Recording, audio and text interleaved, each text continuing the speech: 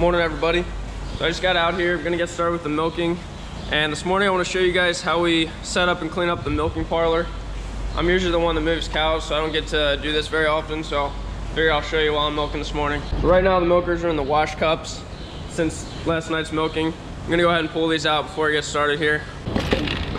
Pull them out like this, and then these actually close up nicely.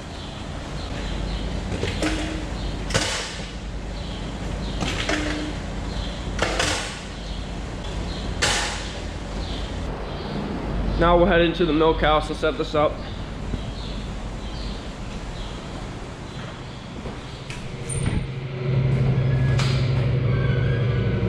This is the room we call the milk house. So we got the front of the milk tank that sticks through the wall here. Most of it's on the other side there.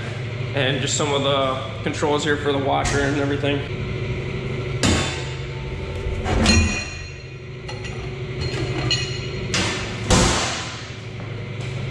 Got this elbow here I'm gonna put on the tank.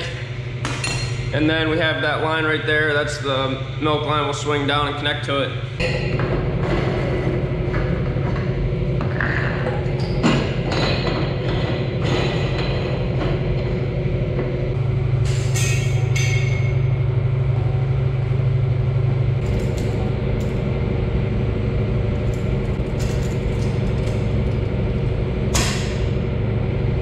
This line was up here. This is the drain for the wash system.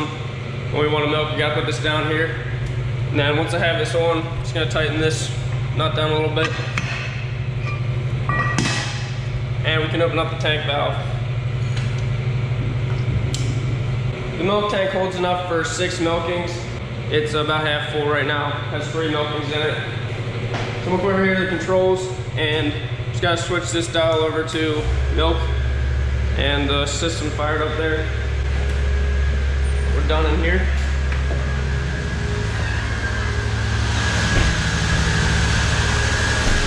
Then this is the utility room, the rest of the milk tank.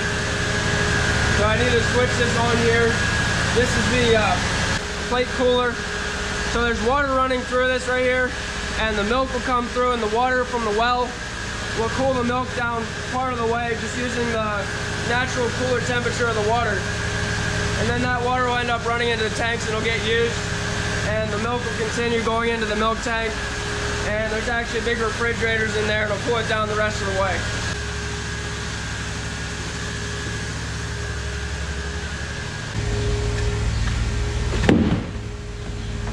Now we'll come down to the end of the parlor here. And there's just two things we need to do. There's a pinch valve and this little dial we have to turn up here. That's just switching it over from wash mode to uh, milk. And then we'll go down through the line here and detach all the milkers, lift them up.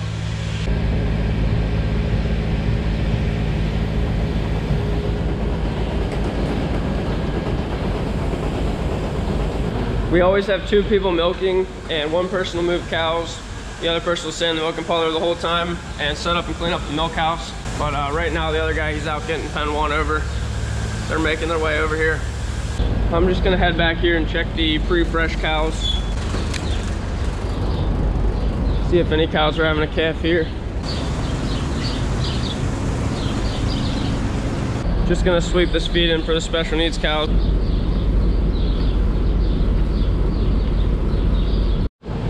So we'll start bringing cows in here and get going.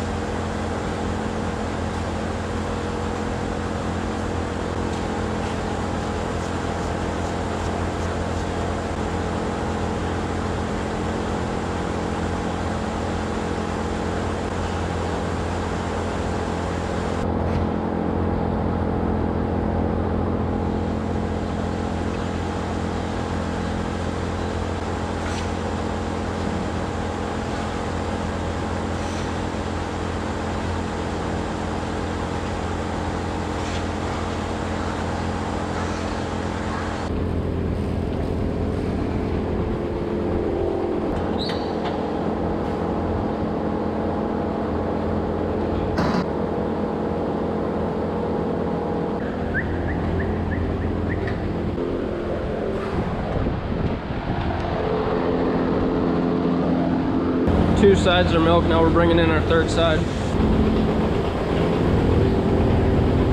we got the third side of cows in here and he went out to get group two now, so I'll milk these here by myself while he's doing that. I'm gonna go ahead and show you the milking procedures here now. So we've made some pretty big changes to our prep process here over the last couple months, uh, but it's been working out for us pretty good. So I got my pre-dip here. This is uh, to kill bacteria, clean the teat off. First thing I'm gonna do, check for any loose dirt on the teats and brush it off. And then we'll go ahead and pre-dip it. Now what we're doing different from what we did before is I'm going ahead and stripping right away now. So this is, we're doing this to let the cow know we're about to milk her, get that first little bit of milk out of there, and she'll start letting her milk down and getting ready to have the milk be put on. So then after stripping, I went ahead and dipped it again. So that's different from what a lot of people do and what we've done in the past. Uh, we usually just pre-dipped once before we stripped, then came back through later. Now we're actually doing it in one time. And we like it because we have a lot of different people milking. And we think this helps us be more consistent with the timing. And it also helps us get them cleaner. So you're kind of getting a lot of that dirt off when you strip and then you're coming back and getting good contact with the second round of dip. And we found it really hasn't slowed us down much at all. So it's, it's been working out pretty good. So we have 13 cows on this side here and I'm not gonna do all 13 at once. Even though I'm by myself, I'm gonna split it in half to keep the timing consistent. So we wanna have about 60 to 90 seconds between when I strip them and when we put a milker on. So just rinse my hands off a little bit and get some towels here. Then for wiping, we'll go ahead and go over them. Take about 10 seconds. I'll clean them good on one side of the towel, flip the towel over, and kind of focus on the ends of the teat here, get them clean.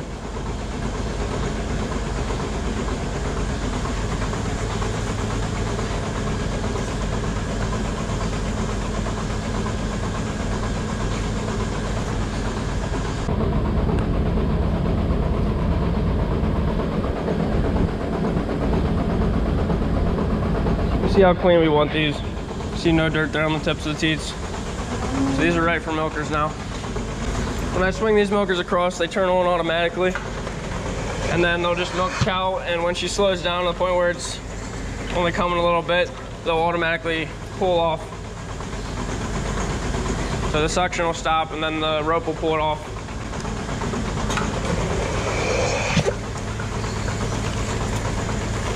See what you want to see is that milk flowing right away like that.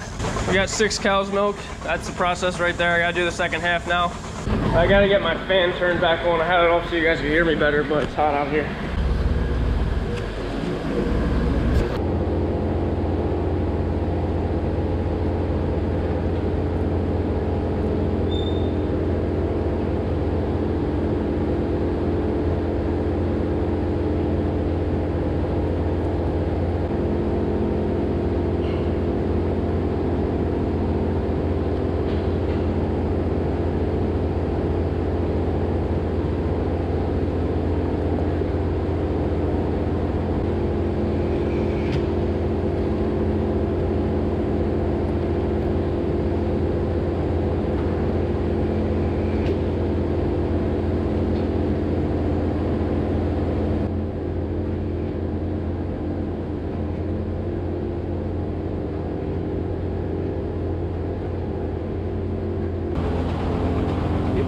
Keep moving. Now the final step once the cows are milked is to take the post dip over them. Just give them a quick dip. This is similar to what the pre-dip has in it, but it also has conditioners in it to help keep the teats healthy.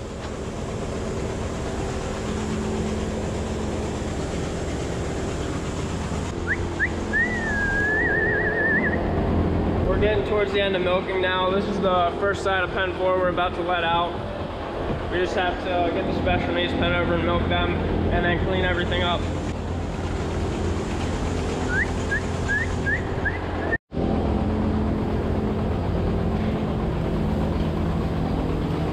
So we're milking the special needs cows now, which is the last group that we do. These cows can be in here for different reasons. Some of them are just older cows that don't do as well in a stall. And uh, we got cows in here that just had calves or uh, maybe have a sore foot. This one here has a sore foot. But uh, A couple of these have red bands on them. These cows are ones we don't want to milk into the line and put in the tank.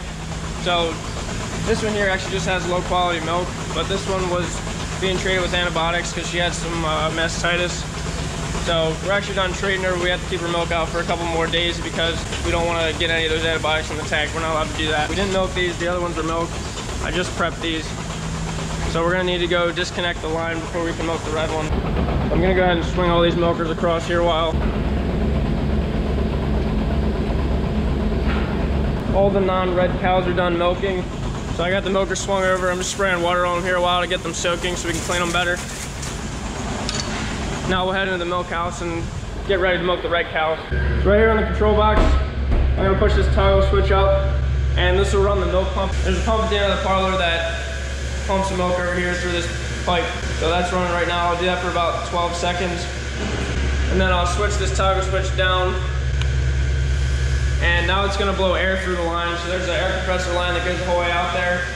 And now it's just gonna push any extra good milk through the whole way to the tank. And then uh, once I hear the bubbles coming in, I'll stop and we can disconnect it.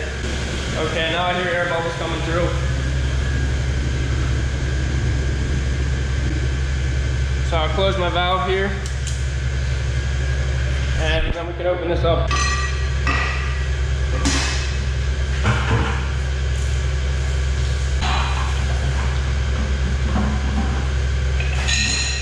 Right, so we got the line disconnected from the tank. Now we're safe to milk any treated cows. We don't have to worry about getting any antibiotics in the tank or anything.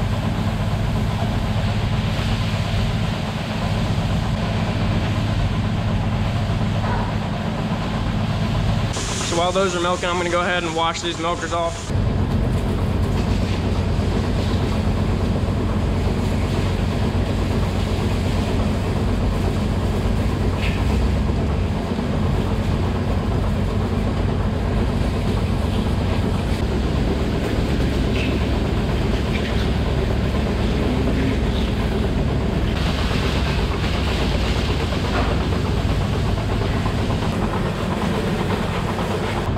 Cows are done and I cleaned all the milkers.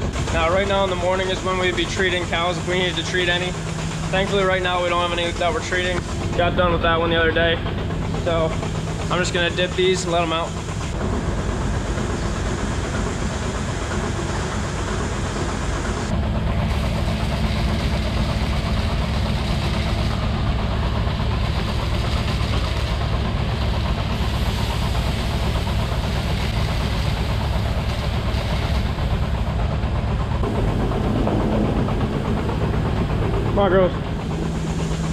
So this is the pump that I had manually turned on.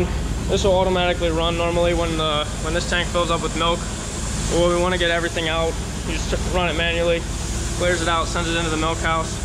And then this is the air line that comes in, so when I put the toggle down, it just blows air through, clears everything out. Back in the milk house, now I'm gonna clear the line out the same way, but this time we're gonna catch the milk in these five gallon buckets here.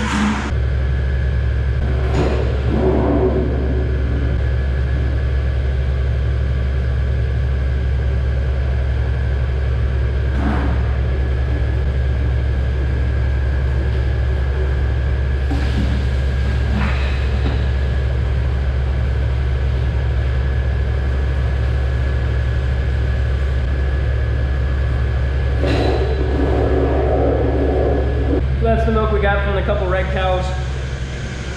Now I'm gonna go ahead and turn the whole system off. And that'll open up the lines, drain the milk out of the whatever's left in the lines and everything. So this milk here we cannot sell. So normally you'd have to dump it out, dump it down the drain. But we have that thing right there, which is a pasteurizer for calf milk. So rather than throwing that milk away, put it in here and run it through a cycle. It'll heat it up and kill a bunch of the bacteria that will be in it, and then we can feed it to the calves later today. So the calves were already fed this morning. This is empty, so I'm gonna go ahead and dump this milk straight in the pasteurizer.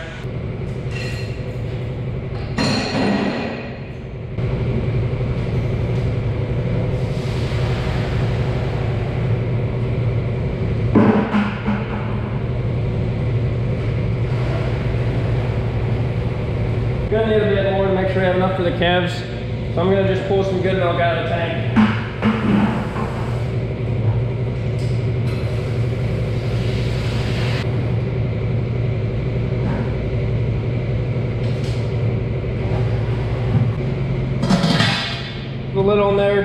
Start the pasteurized cycle here. The milk in the tank is right now at just under 46 degrees Fahrenheit. That's gonna be cooling down about 36 or 37. And then the tank has big stirs in there, keeps the milk swirling. Every other day will get picked up. The, uh, the milk truck will back in right here outside, send the hose through this right here, and hook it up to the milk line. Rinse this tank elbow off. Put this in the wash vat.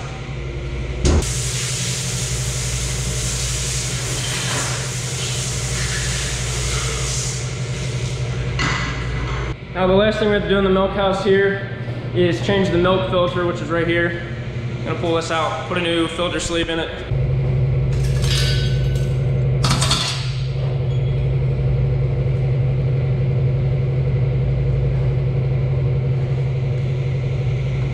This gets changed every milking, so this is how much dirt got in from our milking. So about 600 gallons of milk, 175 cows, and yeah, this is the dirt we left in when we were prepping them and everything, so it's a good way to tell how clean you're getting the cow. So now I'm just gonna rinse this filter off a little bit, we'll put a new filter on it.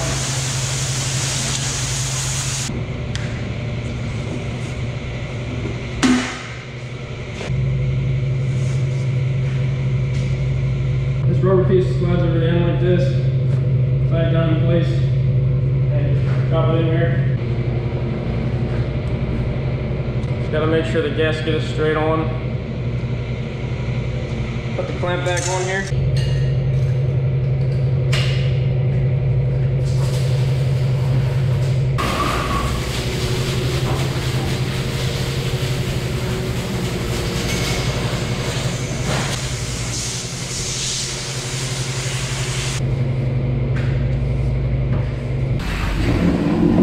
We got the paper towels from the milk in here. We used to use cloth towels and we had a washer and dryer for them. And we'd have to every milking, put them in there and wash them.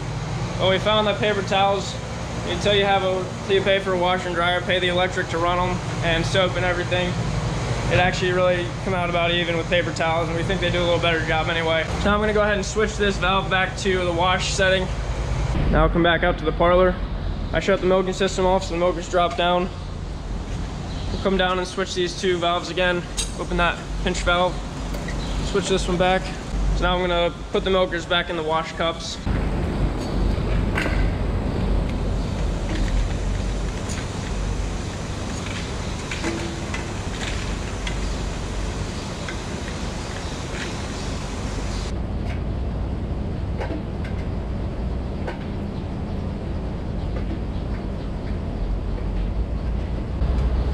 Always a little bit extra milk for the dog. All right, all the milkers are in the wash cups. I'll just come back in the milk house here. I'm gonna switch this over to the wash and hit the start button. So this is what we call the wash vat here. This will fill up with water and soap and then it'll pull it through the system, run water through everything, clean everything out the whole way through up this pipe and I'll go down the drain here. So now I'm just gonna grab my hose and just rinse everything off just a little bit here.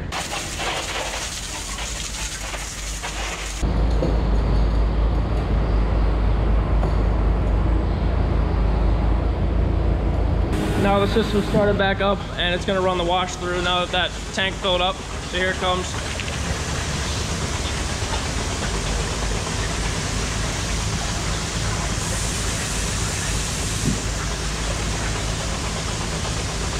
Okay, we're done. Wash cycle's running. Everything's cleaned up. So normally I don't do this part of the milking. I'm normally the one moving cows and then I'll wash down up here. But uh, Megan's the girl I usually see milking with me. She's away this week. So I just get to do a little different job here this morning. So I appreciate you all watching. Don't forget to hit the like button and I'll catch you in the next video. One last thing I always enjoy doing, getting the arms cleaned up.